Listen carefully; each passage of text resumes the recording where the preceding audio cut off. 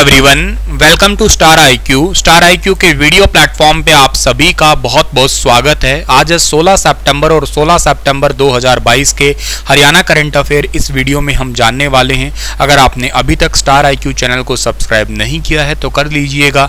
अपने दोस्तों को भी शेयर कीजिएगा और टेलीग्राम चैनल है स्टार आई क्यू एजुकेशन, उसे भी ज़रूर ज्वाइन कर लेना। दोस्तों, कल आपसे एक सवाल पूछा था, उसका सही जवाब क्या होगा कि in which year was the Olympic symbol design Olympic symbol design किया गया था। 1912 के अंदर, यानी कि ऑप्शन नंबर बी ठीक रहेगा। Olympic symbol of five rings on a white field was designed by Pierre de Coubertin in 1912 और ये याद रखिएगा, जो आपकी फाइव रिंग जो है ना, आपकी फाइव कॉन्टिनेंट्स को जो है ना रिप्रेजेंट करती है। और ओलंपिक डे कब मनाते हो आप लोग? 23 जुलाई को मनाते हो। ओलंपिक हर चार सालों बाद होते हैं, जैसे अब रिसेंटली टोक्यो वाला हुआ था। और अब आने वाले ओलंपिक आप लोगों को शायद याद होंगे 2024 के अंदर हो रहे हैं पेरिस के अंदर। 2028 के हो रहे हैं लॉस एंजलिस लॉस एंजलिस को आप लोग हॉलीवुड सिटी के नाम से जाना करते हैं। जैसे इंडिया में बॉलीवुड सिटी मुंबई मुंबई है, ऐसे ऐसे हॉलीवुड सिटी जो है ना लॉस एंजलिस है अमेरिका में। इसके अलावा दो हज़ार बत्तीस के होंगे ब्रिस्बेन के अंदर, ठीक है? तो ये पॉइंट आप लोगों को ज़रूर याद रहने चाहिए। आज का पहला करंट अफेयर क्या है कि हरियाणा के मुख्यमंत्री ने तत्व विकास पर हाल ही में आयोजित बैठक की अध्यक्षता की है। उन्होंने कहा कि नीति आयोग के निर्देशानुसार सभी विभाग रैंकिंग में सुधार करें और इसके लिए पैरामीटर अनुसार ही काम करे, ताकि तत्व विकास लक्ष्य हरियाणा किस वर्ष को हासिल कर सके। तो इस सवाल का सही आंसर रहेगा साल 2030 सर, क्या है? थोड़ा सा लेंथी सवाल दिख रहा है, पूरा समझाइए ना, समझाते हैं, देखो। पहली बात यह है कि हरियाणा के मुख्यमंत्री ने तत्व विकास पर रिसेंटली एक बैठक ली है। सर, होता क्या ये तत्व विकास? इसको आप इंग्लिश में कहते हैं sustainable development goal NITI Aayog के थ्रू जो है ना, इंडिया के अंदर साल 2018 से सतत विकास लक्ष्य के लिए एक पैरामीटर दिया जाता है जो हर साल अलग अलग राज्यों को अलग अलग रैंकिंग दी जाती है। जैसे मैं आपको लास्ट ईयर तक की बात करूँ तो हरियाणा को 67 मार्क्स मिले थे इसमें। 57 थे और 57 से 10 मार्क्स बढ़ के 57 से 67 पे हम लोग आ गए थे।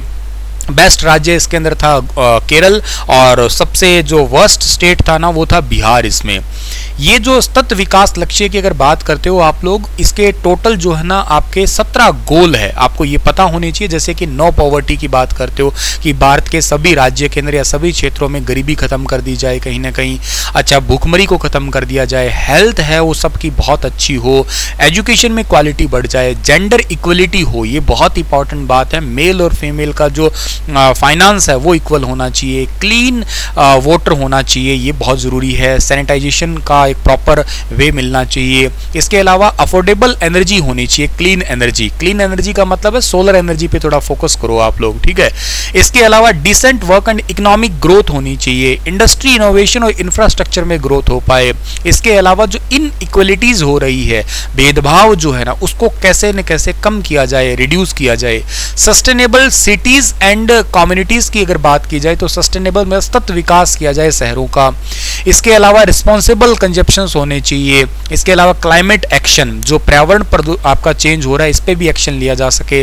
लाइफ बिलो वाटर ऐसा नहीं कि लाइफ अबो वाटर पे काम किया जाए लाइफ बिलो वाटर है, जैसे कि मछली वगैरह, इनके लिए भी विशेष तौर पे ध्यान दिया जाए। लाइफ ऑन लैंड ज़मीन पे जो रह रहे हैं, उन पे भी जैसे पक्षी हुए, पेड़ हुए, इनके लिए भी इक्वली जो है ना ध्यान रखा जाए। पीस है जस्टिस है, ये थोड़े स्ट्रांग होने चाहिए। इंस्टीट्यूशन अच्छा होना चाहिए, शांति होना चाहिए, न्याय व्यवस्था बढ़िया हो। पार्टनरशिप फॉर द गोल्स कोई नेशन आपस में जो है ना पार्टनरशिप कर सकता है। ये सस्टेनेबल गोल जो है ना साल 2015 के अंदर स्टार्ट किए गए थे बाय यूएनओ इसका मिशन बस इतना ही था, जो मैंने आपको सभी बताया कि आपके प्लेनेट के ऊपर जो है ना वो थोड़ी सी शांति रहे, खुशहाली रहे। 2015 में स्टार्ट किए गए थे और उसका टारगेट रखा था साल 2030 तक जो है ना इनको 100 परसेंट अचीव कर लिया जाए। और अब आप सवाल को पढ़िएगा। की एक बैठक हुई। इस बैठक के अंदर हरियाणा के सीएम ने जितने भी डिपार्टमेंट है, इनको ये निर्देश दिए हैं कि जो ये पैरामीटर है, जो मैंने सत्रह गोल बताए, इसी के अकॉर्डिंग सारे डिपार्टमेंट काम करे, जो जो इनके पैरामीटर है, ताकि हरियाणा भी साल 2030 तक जो है ना, ये एसडीजी की रैंकिंग को हासिल कर सके।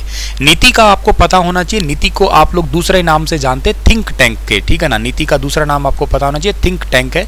इसकी स्थापना कब हुई थी? इसकी स्थापना हुई थी एक जनवरी साल दो हज़ार पंद्रह के अंदर। रिसेंटली नीति आयोग की सातवीं बैठक हुई थी अगस्त महीने में मैंने आपको पढ़ाया भी होगा उसके बारे में। और इसके अलावा नीति का फुल फॉर्म आपको पता होना चाहिए National Institution for Transforming India है। नीति के अध्यक्ष कौन है? प्रधानमंत्री ही होते हैं। नीति के उपाध्यक्ष अभी रिसेंटली तीसरे बने हैं, सुमन के बेरी। पहले थे अरविंद पनगड़िया, दूसरे थे राजीव कुमार, और तीसरे अब सुमन के बेरी बने हैं। नीति आयोग के दूसरे जो सीईओ बने हैं, उनका नाम भी आपको पता होना चाहिए। उनका नाम है अभी परमेश्वरन अय्यर। पहले सीईओ कौन थे? अमिताभ कांत। ये तीसरे उपाध्यक्ष बने हैं ठीक है ना? पहले उपाध्यक्ष अरविंद पनगड़िया दूसरे उपाध्यक्ष राज, राजीव कुमार और तीसरे बने हैं सु, सुमन केबेरी ठीक है? चलिए, अगला क्वेश्चन आपको पढ़ाते हैं तो क्या रहेगा? ज़ीरो बजट खेती को लेकर हरियाणा सरकार किस राज्य के साथ मंथन करने जा रही है? तो ज़ीरो बजट खेती को लेकर हरियाणा सरकार गुजरात राज्य के साथ मंथन करने जा रही है। क्या होती है सर ये ज़ीरो बजट खेती? ज़ीरो बजट खेती का मतलब है प्राकृतिक खेती।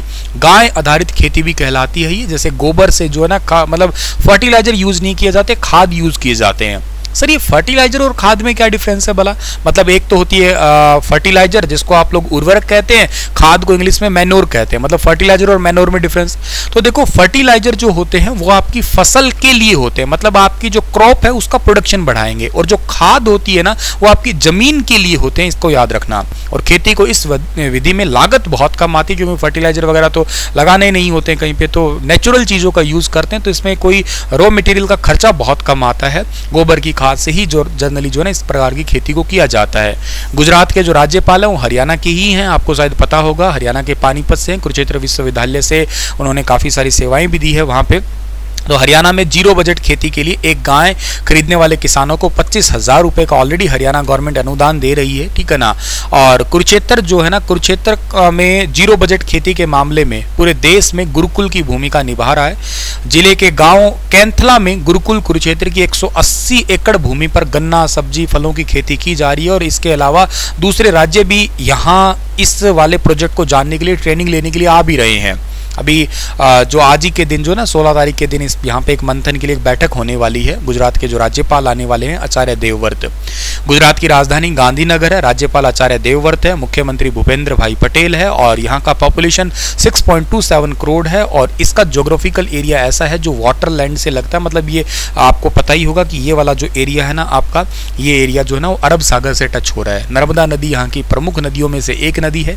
एक शहर है जिसका नाम सूरत शहर है, जो बहुत ही इंपॉर्टेंट है, ये सूरत शहर है जो ताप्ती नदी के किनारे पड़ता है, ये भी आपको ज़रूर पता होना चाहिए, ठीक है ना? सो so, अगला जो हमारा क्वेश्चन है कि दुनिया का सबसे बड़ा हड़प्पा संस्कृति का संग्रहालय हरियाणा के किस क्षेत्र में बनाया जा रहा है? हरियाणा के कौन से क्षेत्र में बनाया जा रहा है? तो इसका सही आंसर रहेगा राखी गढ़ी दुनिया का सबसे बड़ा जो है ना म्यूज़ियम बनाया जा रहा है। इसकी अभी रिसेंट घोषणा हुई है हड़प्पा कल्चर इन हरियाणा। यूँ कहिएगा वैसे सबसे बड़ा ये तो साइट है ही है आप लोगों को अच्छे से पता है। दिल्ली से लगभग एक सौ पचास किलोमीटर के दूरी पे ठीक है ना थोड़ा ज़्यादा पड़ेगा एक सौ के आसपास पड़ेगा सत्तर अस्सी के आसपास है। चलो खैर Yep. इसके अलावा राखी गढ़ी का इतिहास तो आपको पता ही है कि हरियाणा के हिसार ज़िले के नारनौद उपमंडल में आता है ये। राखी खास और राखी शाहपुर गाँव के अतिरिक्त आसपास के क्षेत्र में पुरातात्विक साक्ष्य मिले हैं। सबसे पहली बार 1963 से 1969 के बीच में खुदाई हुई थी यहाँ पे। और उसके अलावा जो है ना 1998 से 2001 के बीच डॉक्टर अमरेंद्र नाथ के नेतृत्व में जो है ना यहाँ पे खुदाई की गई थी। उन्नीस सौ अठानवे से लेकर अब तक छप्पन कंकाल मिल गए हैं, जिन पे डीएनए की ट्रेनिंग ऑलरेडी प्रशिक्षण यहाँ पे चल रहे हैं। प्रोफेसर वसंत सिंधे के मुताबिक राखी गड्डी में पाई गई सभ्यता 5000 से 5500 साल ईसा पूर्व की है, जबकि मोहनजोदड़ो में पाई गई लगभग 4000 ईसा पूर्व मानी गई है। मोहनजोदड़ो का क्षेत्र तो लगभग 300 हेक्टेयर का था, लेकिन ये तो 500 हेक्टेयर से भी ज़्यादा का एरिया है, ठीक है? और हरियाणा सरकार ने हाल ही में चंडीगढ़ एयरपोर्ट तक शुरू की है पोर्ड कार सेवा। और इसकी घोषणा तो कर दी, पर इसमें कितना खर्चा आएगा? तो इस पे 231 करोड़ का आएगा, और आपके मास्टर जी इतने महान हैं कि चारों के चारों ऑप्शन सेम रख दिए हैं। पर कोई बात नहीं, आप याद रख लेना 231 करोड़ रुपए का जो है ना, इस पर खर्चा आएगा। ये होती है पोड टैक्सी इस टाइप की आपकी, ठीक है ना? तो बड़ी छोटी सी डुगडुगी सी होती है छः यात्री इसके अंदर बैठ सकते हैं आपकी। और इसको बनाने के लिए, बाउंड्री वाल के लिए छः एकड़ भूमि की आवश्यकता है, ठीक है? और एक बात आपको याद होगा, चंडीगढ़ एयरपोर्ट का नाम बदलकर भगत सिंह एमसीपी एयरपोर्ट कर दिया, मोहाली, चंडीगढ़ और पंचकुला खुला कर दिया, ये भी आपको पता होना चाहिए, ठीक है? और चंडीगढ़ के ओल्ड एयरपोर्ट से न्यू टर्मिनल तक जाने के लिए ये पोर्ट टैक्सी सेवा जो है ना स्टार्ट की जा रही है, ये याद रखना आप लोग। सतर पोर्ड कार को संचालित करने की तैयारी है। टोटल मतलब सतर ये चलेगी। आठ से दस मिनट के अंदर अंदर छोटी छोटी ये डुगडुगी सी घूमती रहेगी इधर। मुख्य सचिव संजीव कौशल ने तीन महीने के अंदर किस सेवा को डायल 112 की आपातकालीन त्वरित सहायता प्रणाली से जोड़ने के निर्देश दिए हैं? तो इसका सही आंसर रहेगा डायल 108 को। यानी कि जो आपकी हेल्थ फैसिलिटीज़ है तो हरियाणा में तीन महीने के अंदर डायल 108 पर मिलने वाली सभी सेवाएँ जो है ना 112 से कनेक्ट कर दी जाएगी। महिला हेल्पलाइन फायर ब्रिगेड सर्विसेज़ को तो पहले ही यहाँ से जो है ना जोड़ा जा चुका है। यूनिवर्सल नंबर कर दिया, आपको पता होगा, बारह जुलाई दो को ये स्टार्ट किया गया था। महिला हेल्पलाइन नंबर एक हुआ, इसके अलावा ट्रैफ़िक हेल्पलाइन नंबर एक सौ हज़ार हुआ। ये सारे ऑलरेडी सेंट्रलाइज्ड हो चुके हैं। अब ये भी जो है ना, तुरंत प्रभाव से ऐड हो जाएँगे, ऐसा संजीव कौशल जी ने घोषणा की है। ये बात आपको याद रखना। इसके अलावा पुलिस है, मूक बागीर पीड़ित है, साइबर हेल्पलाइन 1930 है। ये सारी की सारी जो है ना डायल 112 से दी जा रही है। सभी 42 फ़ील्ड की साइट है, उनको स्टैटिक रेडियो स्टेशन की स्थापना करके काम पूरा कर लिया गया है तो एक सेंट्रलाइज नंबर हो जाएगा 112 ठीक है? तो ये पॉइंट को आपको याद रखना है। पिछले तेरह महीनों में डायल 112 पर इकसठ लाख कॉल आ चुकी है, याद रखना। 8.35 लाख कॉलों को सुन के आवश्यकता अनुसार सहायता भी दी गई है, ठीक है? सो इस पॉइंट को आप याद रखना। इसी के साथ ये लेक्चर समाप्त होता है। आपके लिए क्वेश्चन छोड़ के जा रहा हूँ एक कि प्रधानमंत्री ग्राम सड़क योजना का खर्चा कौन सरकार उठाती है? केंद्र सरकार, राज्य सरकार, केंद्र सरकार और राज्य दोनों ही, इनमें से कोई नहीं। बताइए विस्तार से। कल फिर हाजिर होता हूँ लेटेस्ट अपडेट के साथ में। अब तक ख्याल रखिएगा आप लोग और स्टार आईक्यू चैनल को सब्सक्राइब शेयर ज़रूर करना। धन्यवाद।